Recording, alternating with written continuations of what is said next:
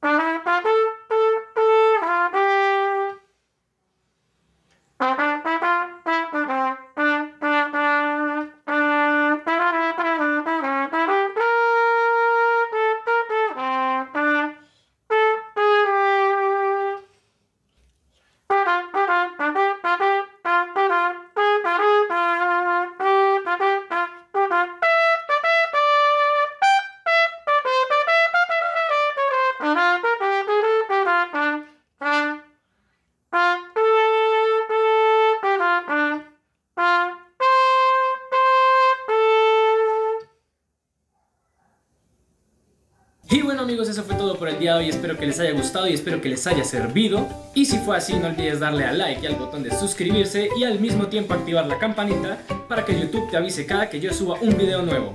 Hasta aquí el video de hoy, yo soy Mr. JP, nos vemos.